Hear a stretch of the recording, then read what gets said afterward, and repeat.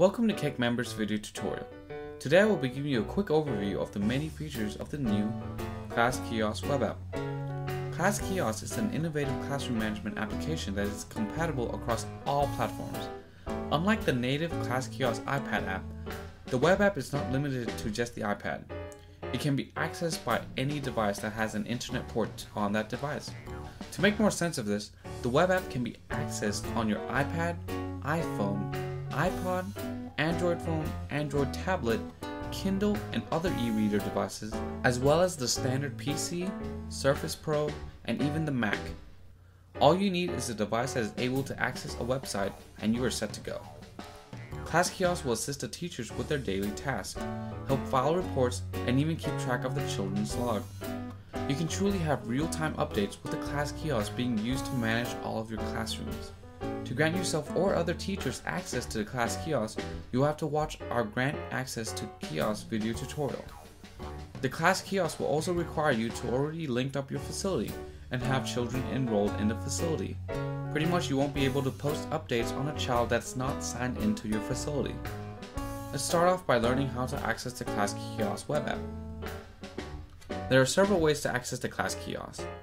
You can start by using the direct link, cakechildcare.com forward slash kiosk forward slash class. This will also be in the description below. The second way is to go under the Members tab in Cake Desktop and click on Class Kiosk Web Based. Another way to access the Class Kiosk web app is also through your Cake Manager tab, under the Downloads tab. Also, when you initially signed up your Cake membership, you will receive an email that will also have the link to the Class Kiosk web app. Now, let's get started. As you can see, we are on a Mac. Let's just open up Safari, type in the link cakechildcare.com forward slash kiosk forward slash forward slash class and then click enter. As you can see here, this is the primary login screen where you will have to enter in your school ID or Cake ID and password. If you would like to save this login information, click remember me and your login information will be saved. Here is the PIN number login screen where your teachers will input their PIN code to access the class kiosk. After entering in a 4 digit code, click enter. As you can see, the classes will be shown here, and if you would want to view all of the students, click all. Here at the top is our navigation bar, where you can choose which class you would like to progress with and what activity you would like to be updating on. The primary difference between selecting all from here and the one shown here is that by selecting the drop-down, you'll be updating every child that is selected in that class. Whereas if you choose the All option here, you can proceed to specify which child you would want to update on. Let's go ahead and choose All from here for now, and then specify which child we would like to post an update on. As you can see, these are the children that are currently signed in right now at my facility. Let's go ahead and pick several children to do an update on. Next, we will click on the activity drop-down next to the class here, and a total of 12 options will appear. We will go through each one. So let's start with the activity and click go. You can quickly tap what the child is doing, whether it be playing alone, crawling, or playing with others. Then add a comment if necessary. Next, click update and a confirmation pop-up will appear and then click OK. To increase this process, you can choose an activity, click apply to all, then update, and there you go. Now let's go ahead and log back in and choose all under the class drop-down and the next item on the list which is administrative. Simply select the medication amount that was given and then select the quantity which can be in teaspoon, tablespoons, milliliters, ounces, units, drops, or tablets. Also by clicking this half amount, you can add 0.5 to the amount. And lastly, you can always add the medication name in the description here. Next, let's take a look at body checks. Body checks are great for initial assessments of a child to make sure no injuries are unaccounted for. If an injury is assessed, click Fail and then Update. Then pinpoint on the child where the location is and what type it is, and the severity of it. You can then enter in additional notes and details for documentation purposes. If you click on Upload button here, you can choose a picture to upload to the profile. This will also change based on what type of device you are on. So for example, you can take a picture of an incident or an injury with your iPhone and just upload it to your gallery.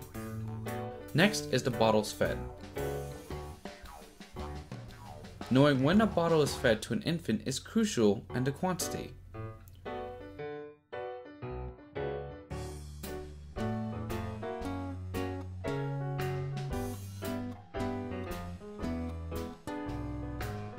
Diapers are very important.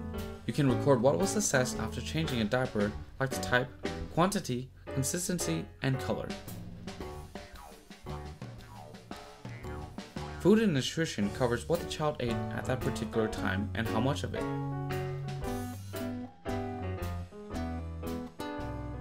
Behavior is very straightforward and is able to show the parents what the child's mood is at that particular time.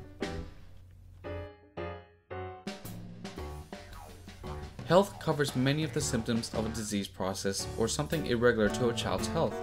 These could be early indicators and even a preventative measure for illnesses. The incident is very similar to the body check and submit the injury description.